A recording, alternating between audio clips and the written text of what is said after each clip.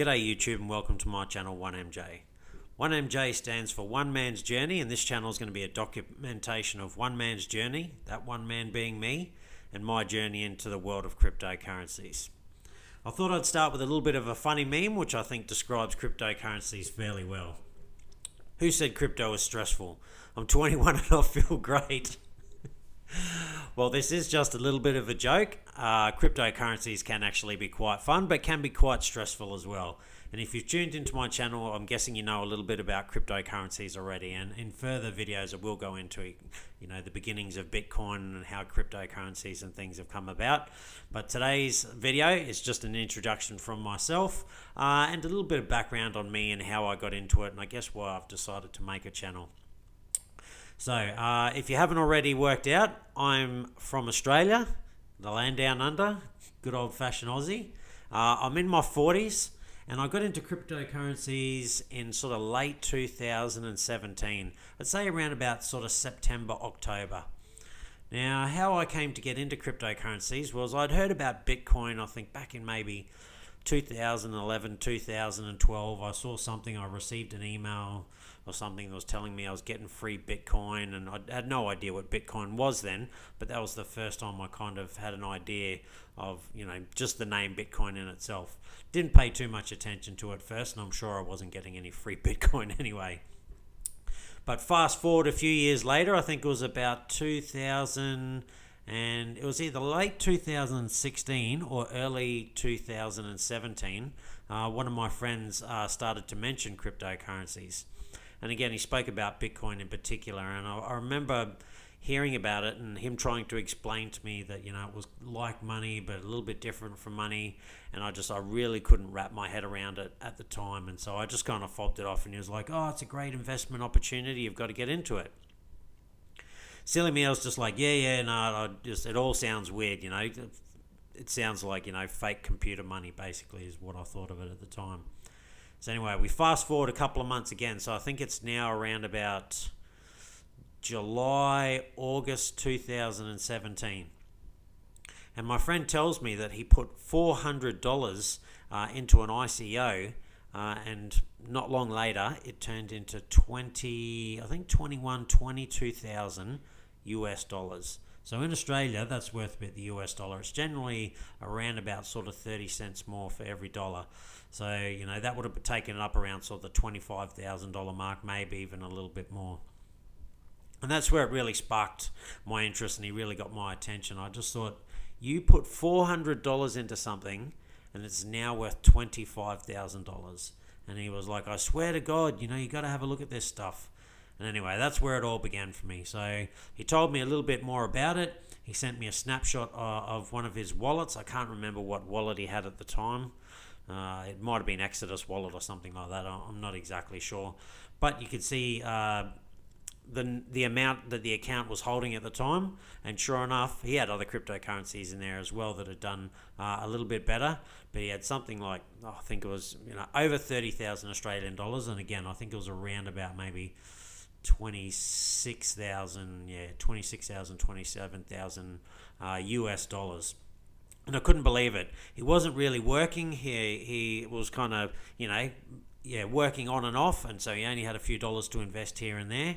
Uh, and in that time, again, he turned a couple of hundred dollars, maybe a thousand or two thousand dollars uh, Australian, into yeah over thirty thousand Australian dollars, and I couldn't believe it.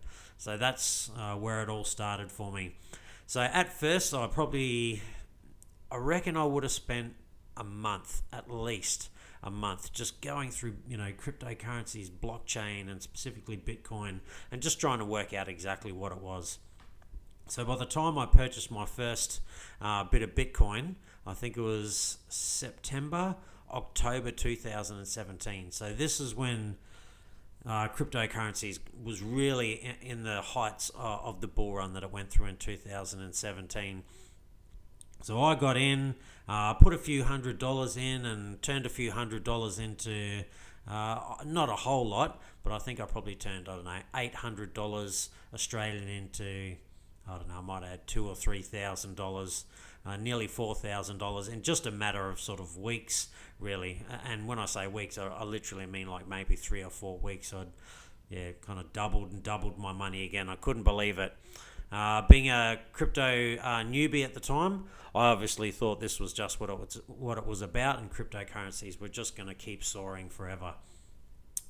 Unfortunately, little did I know that uh, it was all going to end very soon because it was only around kind of December, January, so a month, two months later after uh, you know, the hysteria had kind of been, and then it all, uh, or at least that I'd seen the hysteria, it all started to subside, and all I did was watch, you know, my sort of three, four thousand dollars Australian uh, just start to plummet and go down, and yeah, that was. Uh, an interesting time. Again, you know, I saw, you know, I turned, you know, around about a thousand dollars into sort of four thousand dollars, and then I watched that four thousand dollars turn into, I think, around about at the lowest point.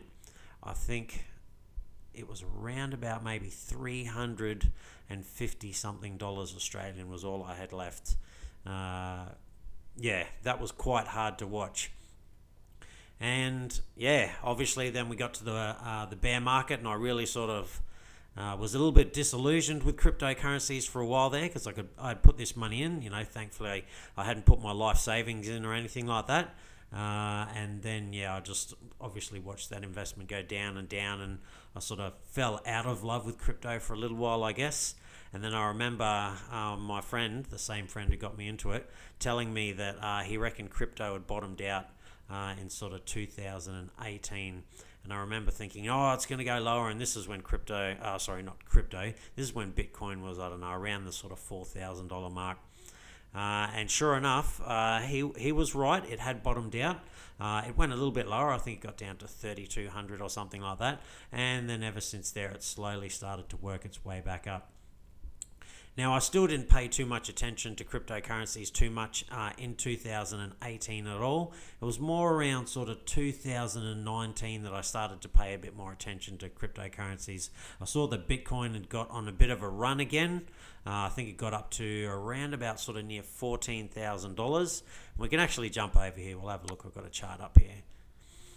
So, yeah, I got in somewhere around about, uh, must have been somewhere a little bit. I think I was down here. So yeah, October, September, October, uh, 2017, and I watched it go all the way up to here to nearly twenty thousand dollars, and then I watched it just start to tumble all the way down. And it was probably around about, oh, I'd say sort of here in November, sort of last year, maybe a, a little bit before. Uh, September, October that I really started to pay attention to cryptocurrencies uh, again, and particularly Bitcoin. Again, I watched it, you know, go from the 3,200 down here, get up to around about uh, 14,000. Then it was starting to come down, but that was when I started to pay more attention to uh, charts and things like that, and understand uh, how to read charts and the way that you know stocks, uh, not that I really like stocks, but stocks and investments and things like that, you know, they go up and then they go down and then they go up and they go down. And I really started to have a look at uh, Bitcoin's price history and then go you go back years and years and you can see things exactly like you're looking now it's pumped up and it's gone down and then it's pumped up and it's gone down and then eventually it has a breakout at some stage uh, and anyway so i started to pay a whole lot more attention and it was sort of around about December last year. Yeah, I think it'll be about December, so it's around about sort of here. I remember it was around Christmas time. I decided, all right, I need to get back into this market. I still had uh, the cryptocurrencies I got back from way over here, uh, and they'd almost got back to their original prices. Again, I was around about close to a thousand dollars that I had uh, in cryptocurrencies. Not quite, a little bit less, but I started to watch it go up. Uh, and yeah, anyway, I got back into a few different coins, and again, then we had this big, massive coronavirus dump that dropped down the back, down to the bottom here, uh, and then it started to come back up. And something that I've found that's been er- very interesting with this uh, chart is that Bitcoin has sat between about sort of 6,000 and 8,000 ish sort of dollars uh, in that time. And I've actually charted it out here. You can see that since back in October 2017, its average price has been between six thousand and sort of eight thousand dollars. So it's been above it more than it's actually been below it. So it was way above here. Then we saw it drop down below six thousand for a little while. Then it got back up into the range, and then it's been above and using that sort of 6,000, 8,000 range as support. Fell down a little bit here, got back above, and then we all know what happened here. Again, the virus happened, so it dropped down. And as we can see, drag it across here, it started to move its way back up again. Now we've had a little bit of a sell off over the last few days, but that's Bitcoin and that's cryptocurrencies in general. They're highly uh, volatile and they can go up uh, quite substantially and go down substantially. But what I've noticed again is if we kind of zoom uh, out a little bit, is I believe that this is starting to coil and we're going to have a breakout at some stage. I think uh, there's every chance that we might still drop down and see some uh, negative price movement again. Or I won't say negative, but we could see some more downward action. But I think at some stage we're going to break out to this and we're going to start to reach all time highs. Because as I was saying before, this is not the first time something like this has happened. If we want to go back and have a look at uh, Bitcoin charts, oh, this one doesn't go back far enough. Oh, no, actually it will. So we can see that Bitcoin has pumped up here before, dropped down, it's come up and pumped up and then dropped down, then it's come up and dropped down, come up a little bit, dropped down, and then it's just started to go on a bull run before. So this is not the first time that Bitcoin has done these kind of things, particularly here. This is when it had a big pump back in 2013, sort of 2014. So let's have a look. What was the date here? So November 2013, Bitcoin reached about $1,100 US. And then it started to have uh, a big drop off, exactly like kind of 2017, 2018. Dropped right off, fell down, came back up. Everyone thought it was going to happen again, it was going to pump back up.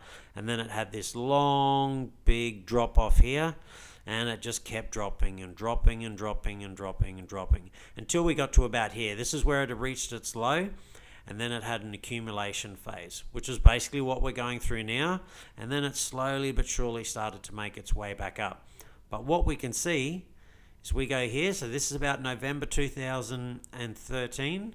It took until about over here which is February 2017. So that's quite a few years. We got sort of three years, four years going on there before Bitcoin reached its uh, price again. And even then, when it did, it pumped up a little bit and had another big sell off again. But after that, well, we all know what happened. So again, this is that the beginning of that kind of run. Starts here, then it starts to pump up, and look at it go all the way up there. Then it has a big sell off again Bit of an accumulation phase, pumps up, has a bit of a sell off again, pumps up, has a bit of a sell off. Well, that was a big sell off actually, one of the biggest ever. And it's starting to pump it up, pump back up again. Sorry, excuse me. And I think we might even see another bit of a sell off coming here before eventually we're going to break out of this zone that we can sort of see here again. This is that downward sort of trend we have at the moment. But while the highs are getting lower, the lows are getting higher and that's what's really important. So it's all starting to coil up in here.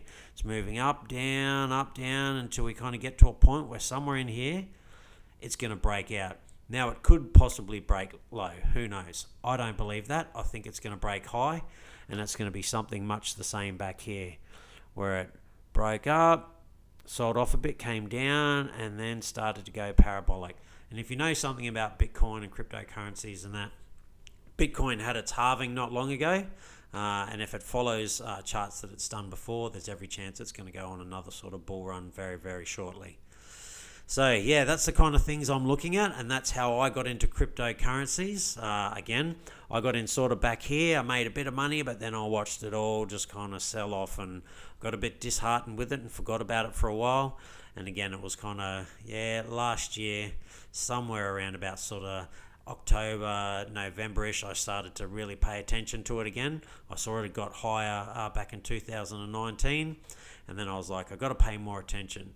And yeah, obviously started to pay a lot more attention. Uh, I did put some money in kind of yeah earlier in the year, and then unfortunately I watched that big sell off, and that kind of hurt a little bit.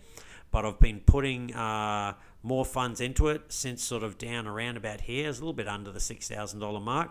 Uh, and yeah, so far things are doing not too bad since there, but we'll have to wait and see.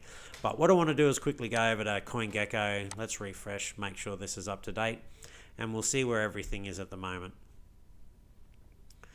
So 9,500.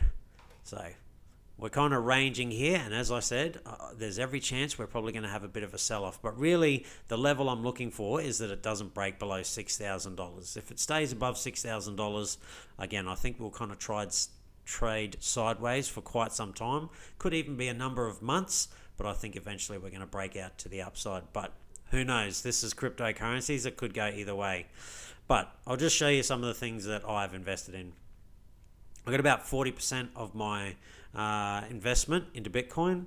I've got about 25% of my investment into Ethereum.